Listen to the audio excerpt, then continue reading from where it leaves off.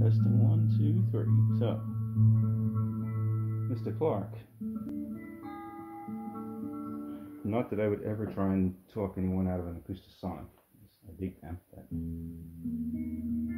I'll give you some food for thought on the whole modeling front. Um, I'm assuming when you talk about making your guitar sound like other instruments, you mean other guitars, not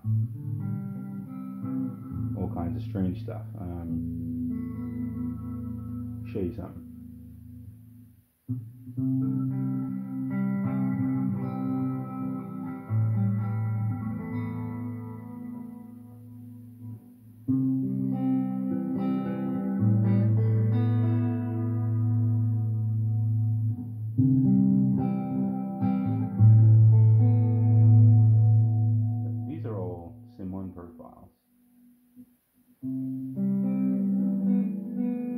All going to a regular acoustic patch.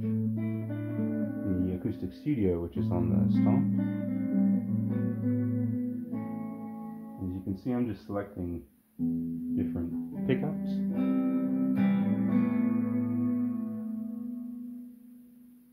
RainSong.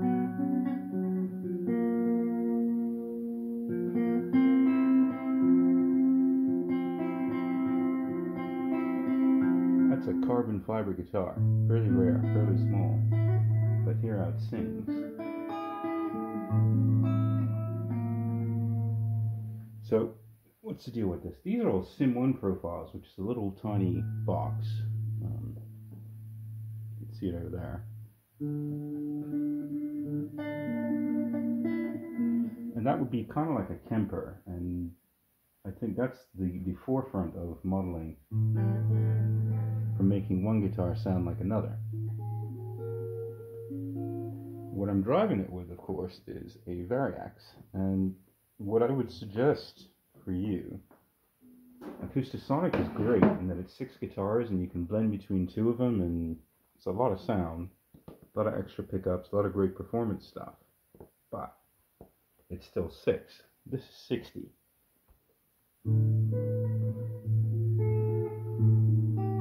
Call it less than that, but what I would recommend this for is the fact that if you have a Helix,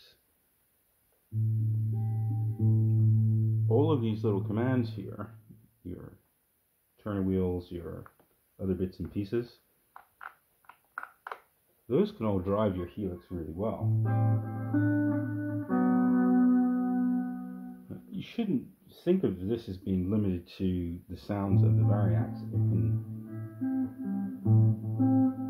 certainly produce things, but there are other ways, as you mentioned before. Um, Glenn DeLaune's ones, for instance.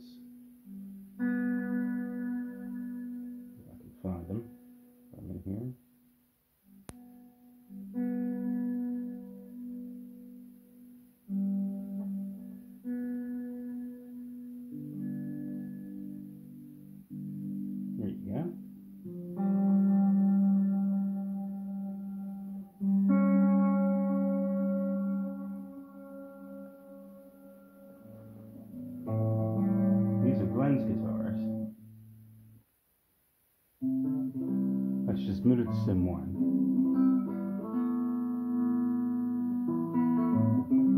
Now, I can change the volume and tone here.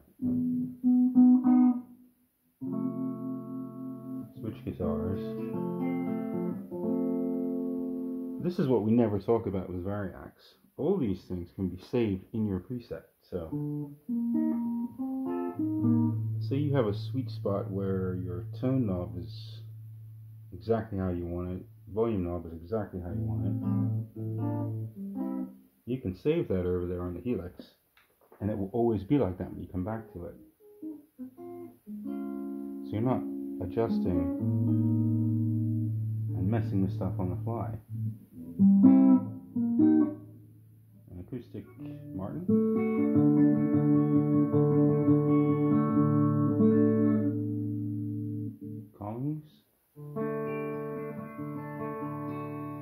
And for me, what you're really going for when you're modeling is the differences between one guitar and the next. It doesn't matter if you land 100%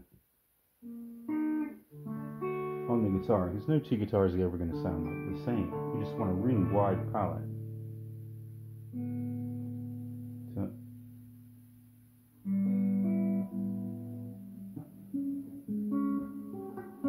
Got to be said,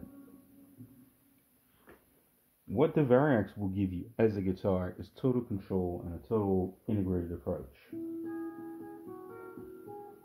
On top of that, you can like I've done with these Sim 1 things. Go through and select any guitar you like. So you have the option to profile a guitar, which is fantastic. For instance, this Duesenberg.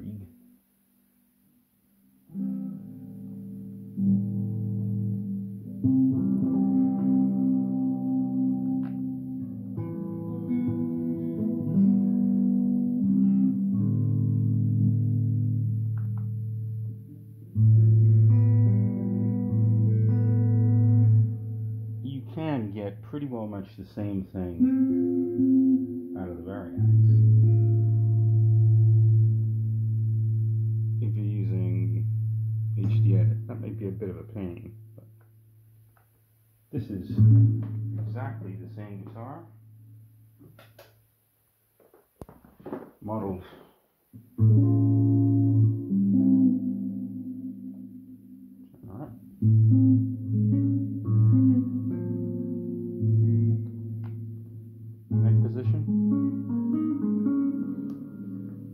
That is a remaking of a Duesenberg by um, put in here.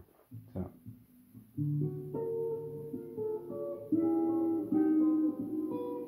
I would say this. There's all kinds of choices. If you've got a budget to go out and get an Acoustasonic, your Sim 1 slides around, I think it's five, six hundred. So sort of like a mid-range guitar, lower mid-range guitar, and you get 99 guitars in one. And for dynamic range and all the rest of it, that is for me the ultimate right now.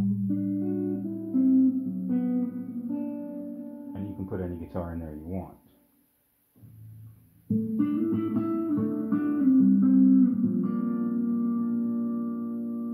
Sound is fantastic. So I would urge you before you go out and get something, do some like serious research, or if you want to know more about the differences between, say, a Sim One, which is going to cost you bucks, Glenn's pack, if you just want acoustic stuff, I think that's what twenty bucks.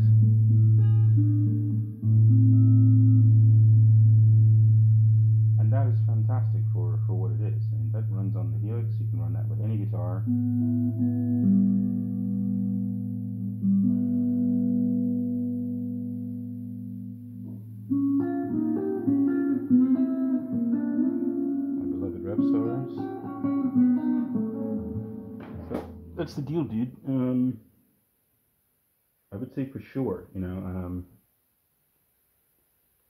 if you look at it from the point of view of getting the absolute most out of one guitar, if you want to stick with one guitar,